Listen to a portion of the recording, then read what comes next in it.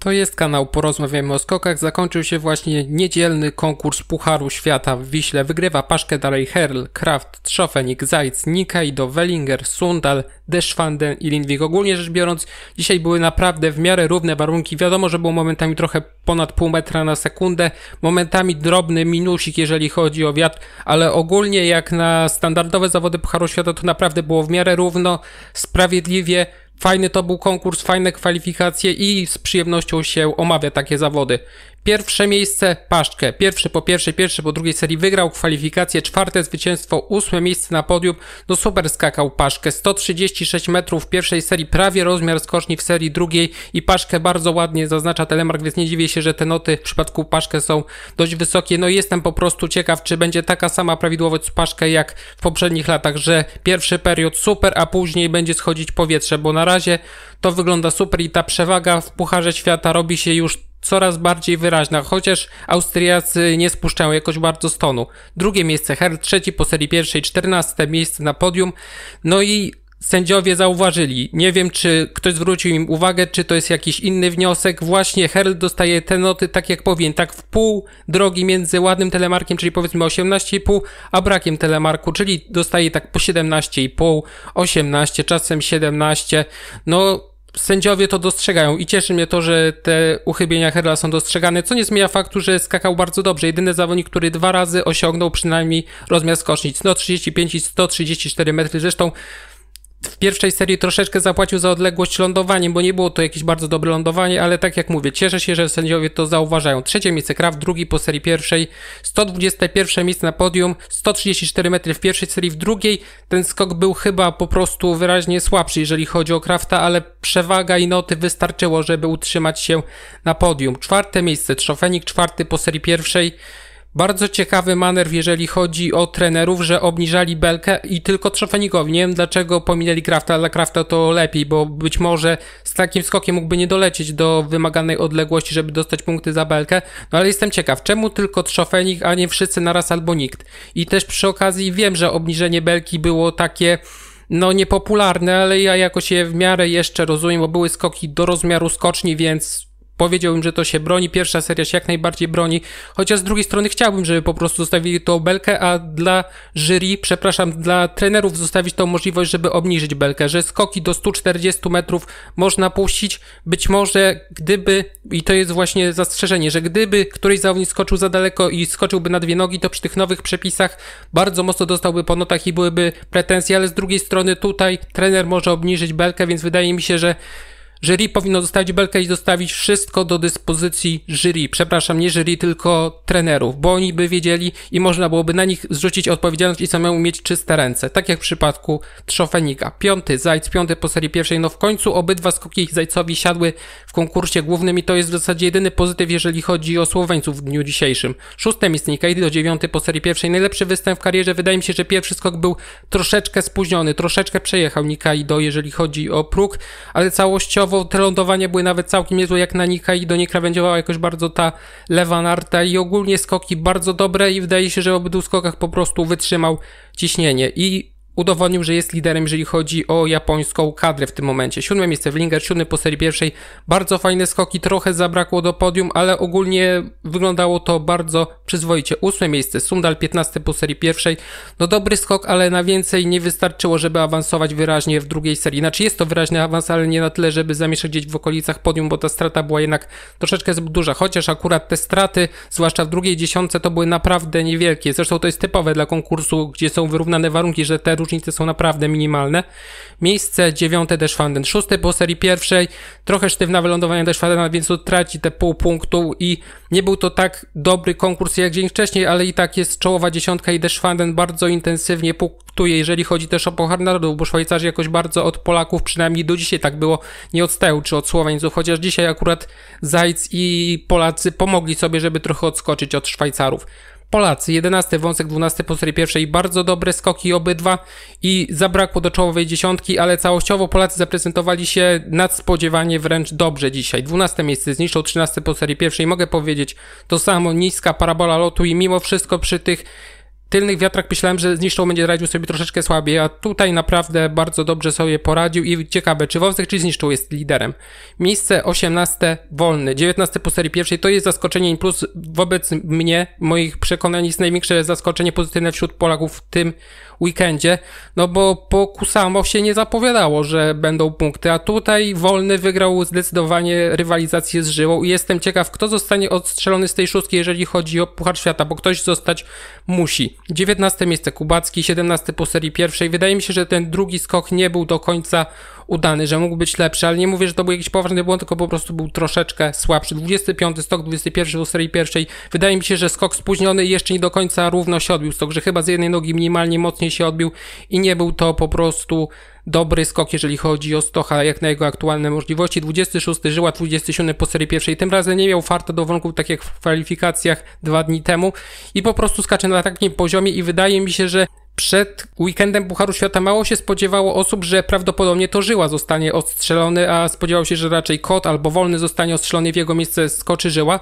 Ciekawe, czy Żyła startowałby w Pucharze Kontynentalnym swoją drogą.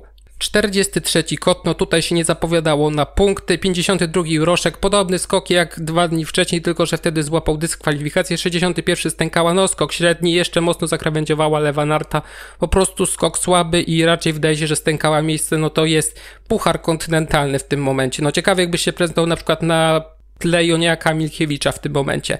Austriacy 15 Orner 24 po serii pierwszej. Wydaje mi się, że pierwszy skok Ornera był dość wyraźnie spóźniony, drugi już dużo lepszy i też lądowanie. Wydaje się, że sędziowie dość życzliwie podchodzą do tego, jak ląduje Ortner. 16 miejsce Heibeck 20 po serii pierwszej. Występy przyzwoite, ale nie rewelacyjne, a to w przypadku Austriaków jest raczej zagrożeniem, że może lada moment skończyć się obecność Pucharzy Świata dla Highbacka albo na przykład Fetnera, 17 miejsce po serii drugiej, 14 po serii pierwszej. No Fetner mógłby troszeczkę lepiej lądować po prostu i w zasadzie tyle. 46 Embasher, no gdyby dyspozycja sportowa była najważniejsza, to w tym momencie Embasher byłby na wylocie. No ale jest mistrzem świata juniorów, ma ten medal i głupio byłoby go odstawić w tym momencie. No chyba, że Steinberger ewentualnie za dobry występ w Fiskapie byłby tutaj wzięty na siłę, bo Embasher po prostu sportowo w tym momencie wydaje mi się, że Schuster byłby po prostu mocniejszy, a tak no to ze względu na te przepisy Embasher jest w Pucharze Świata i wydaje mi się, że w nim pozostanie na dłuższy czas. Niemcy 14 Geiger, 10 po serii pierwszej. Skoki w porządku, ale to wystarczyło dzisiaj na 14 miejsce. 20 Laj, 22 po serii pierwszej. No występ przyzwoity, no ale bez rewelacji. 35 Raimund, wydaje mi się, że Raimund nierówno się wybił i ogólnie też trochę za bardzo zadarł odbicie do góry czy raczej narty zadał za bardzo do góry i dlatego był to też słabszy skok niż ten, który miał miejsce w poprzednich dniach. 38 Eisenbichler, no zaskoczenie i minus, a też często lądowaniem sobie Eisenbichler za bardzo nie pomaga. Nie mówię, że w tym konkretnym skoku jakoś bardzo, no ale notami sobie Eisenbichler nie pomaga. 40 Titel, bardzo mocno skierowane odbicie w górę i dzisiaj to nie zdało egzaminu, ale i tak przecież jest w konkursie głównym. Norwegowie, 22, Wilunsztad 16 po serii pierwszej, no ten drugi skok słabszy i ten wypad do lądowania też nie był najlepszy, jeżeli chodzi o Wilumsztada.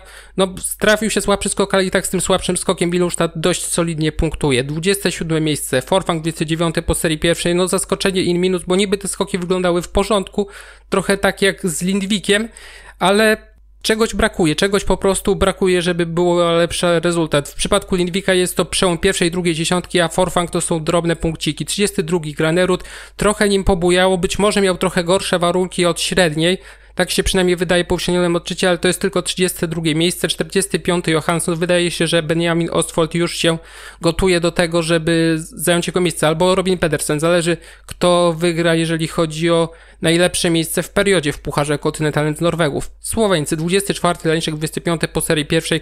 No te skoki wyglądały w porządku, tylko że no nie było odległości tyle, żeby wyciągnąć z tego coś więcej. Dyskwalifikacja Domena Prełca 40, gdyby nie dyskwalifikacja, więc punktów by nie było, no ale Domenowi przydałoby się wiatr z przodu i też troszeczkę większa skocznia, ale to raczej nie jest nic odkrywczego. 53 Mogel, 56 Kos i zwłaszcza w dzisiejszych konkursach Pucharu Kontynentalnego, raczej konkursie Pucharu Kontynentalnego też nie było nikogo, kto zdradzałby potencjał, żeby już natychmiast powołać go do Pucharu Świata.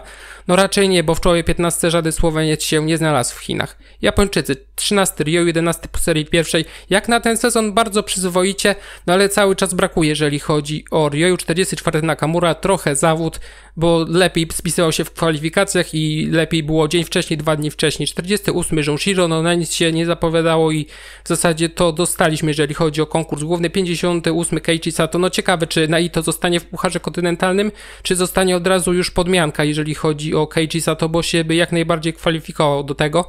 Szwajcarzy 20 P, 18 po serii pierwszej. Wydaje mi się, że drugi skok był odrobinkę słabszy, też technicznie, ale jednak są to pierwsze punkty w Pucharze Świata. Przynajmniej tak mi się wydaje, że na to bardzo się zanosiło, że Peje będzie miał punkty i to nawet nie jakieś bardzo drobne, bo i w piątek dobrze skakał i w sobotę dobrze skakał, poza oczywiście skokiem konkursowym, ale całościowo Peje ten weekend może jak najbardziej zapisać na plus. 41 Aman mógłby lepiej lądować, no ale to Aman. 51 Felix Strun 123 metry. No i ciekawe, że z tym wynikiem nie dostał się do konkursu głównego. Tak miał minusa, co było nietypowe jak na kwalifikacje, ale jednak jest to zaskoczenie, że 123 metry nie dały kwalifikacji do konkursu głównego. Pinowie 28 Alto 30 po serii pierwszej występ Przyzwoity są drobne punkciki, 30 Kyto Sacho, 26 po serii no ten drugi skok słabszy, też sam Kyto Sacho był niezadowolony, 36 Walto, występ przyzwoity, dyskwalifikacja Rompainena, w kwalifikacjach byłby 52 USA, tutaj znów słabo i ogólnie dla Amerykanów zero, jeżeli chodzi o cały dorobek Wiśle. Franc 33 Ciekawe, że w kwalifikacjach, których został dyskwalifikowany, skakał słabiej i że w innym kombinezonie skakał podczas treningu, w białym kombinezonie, nie w czarnym, tylko w białym. No jestem ciekaw, czy to jest też kwestia kombinezonu, że tamten mu bardziej pasuje, że jest po prostu też lepszy, jeżeli chodzi o właściwości nośne.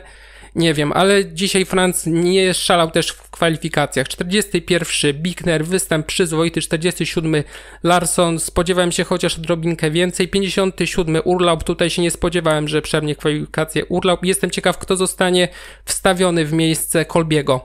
Reszta świata, 23 Aigro po pierwszej i po drugiej serii, występ przyzwoity, bez jakichś machinacji, jeżeli chodzi o wiatr i lądowanie, więc to jest mniej więcej poziom agro. To 23 miejsce, przełom trzeciej i drugiej dziesiątki, 29 Zografski, 28 po serii pierwszej. No, wpadają jakieś tam drobne punkciki, 31 FOB, bardzo dobry skok w kwalifikacjach. Wydaje się, że trochę bardziej płasko skierował odbicie w tym skoku, a skok już wydaje mi się, że tam może delikatnie nierówno się wybił, ale tak delikatnie i to nie wystarczyło, żeby dostać się do drugiej serii. 40, przepraszam, 34 Marusiak. No wydaje się, że Marusiakowi przydałby się po prostu konkurs z wiatrem z przodu. Nie mówię, że tylko dla niego, ale ogólnie z wiatrem z przodu, bo sobie radzi w takich sytuacjach Marusiak. A dzisiaj najlepszy występ w sezonie, ale to nie wystarczyło na punkty. 37 Insam, jak na to, jak Insam skacze na początku sezonu, to jest naprawdę solidny występ. 38 Ibzulu, no naprawdę ściąga go w prawo i to lądowanie, zwłaszcza w kwalifikacjach, gdzie jeden z sędziów dał 16,5 punktu, chyba turecki swoją drogą, no to było rozpaczliwe lądowanie, no naprawdę sobie też nie pomaga mocno Ibzulu, jeżeli chodzi o lądowania, ale ma taki styl. Dyskwalifikacja Mizernycha byłby 40, gdyby nie dyskwalifikacja. Ogólnie Mizernych dzisiaj skakał przyzwoicie. 54 Wasiliew, trochę zaskoczenie, minus 55 Kołdelka, 59 Kańczenko, 60 Czekon, 61 Bedir, 63 Szpulber, 64 Milesi, 65 Choi.